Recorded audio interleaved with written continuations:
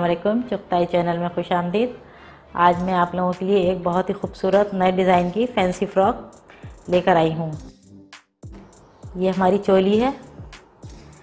ये T shirt है बच्ची की। उसकी हमने चोली बनाई है।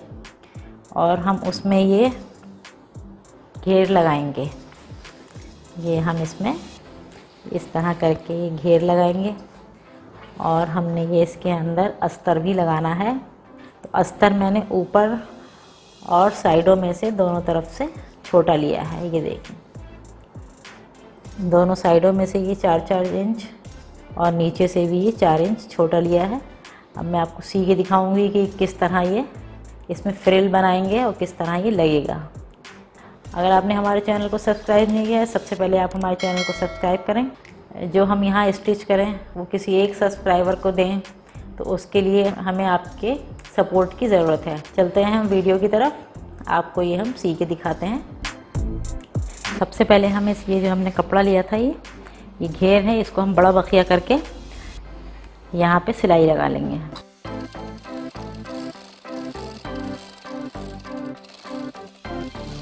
और हम ये दूसरा जो पीछे का हिस्सा है, उस पर भी इसी तरह से सिलाई लगाएँगे।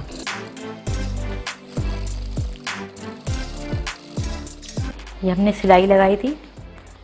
बड़ा इसका बखिया करके। अब हम इसको हाथ से हल्के हल्के चुने दे लेंगे, हल्की सी बिल्कुल।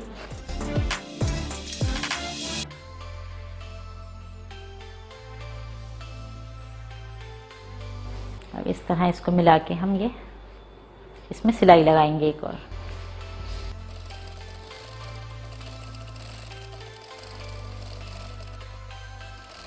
ये अस्तर के बराबर हमने इसमें हल्की सी चुने दे के सिलाई लगा ली। इसको हम सीधी तरफ़ मोड़ लेंगे, ये देखिए इस तरह इसको मोड़ लेंगे हम ये अस्तर को इसके, ये देखिए और हमारी फ्रॉक की ये लुक आएगी। हम ऊपर के हिस्से में यहाँ पे चुने देंगे, ये देखिए इसको मैं आपको पूरा सी के दिखाती हूँ। दूसरे दूसरी तरफ़ भी हम यही कर लेते हैं। ये एक और जो इसका पीछे का हिस्सा है, इसको भी सेम ऐसे ही करेंगे हम। इसका भी धागा खींच के हल्का हल्का और इसको अस्तर के बराबर कर लेंगे।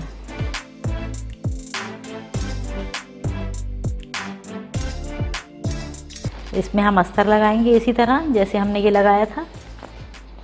और ऐसी सिलाई लगा लेंगे और फिर इसको पलट लेंगे ऐसे। इसको भी मैं इसी तरह करूँगी। मैंने ये दोनों अस्तर भी लगा लिया और ये नीचे का सी भी लिया। हल्की सी चुने दे के ये इस तरह इसको मोड़ लिया। दोनों मैंने आगे का और पीछे का ऐसे ही कर लिया है। अब मैं इसको, ये चोली है मेरे पास, इसमें लगा के दिखाती हूँ।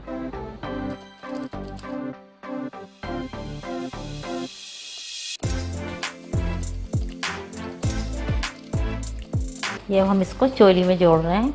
ये हमारी चोली है टी शर्ट जो थी, ये मेरे पास रखी हुई थी टी शर्ट उसमें इसको मैं फैंसी करने के लिए इस पर घेर लगा रही हूँ फ्रॉक बना रही हूँ इसकी।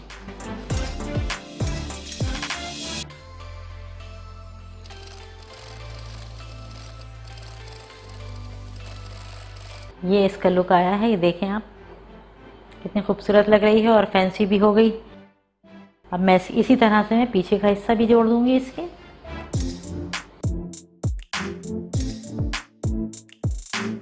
देखिए, हमारी फ्रॉक तैयार हो गई है और कितनी सिंपल से टी शर्ट से हमने ये फैंसी फ्रॉक तैयार की है।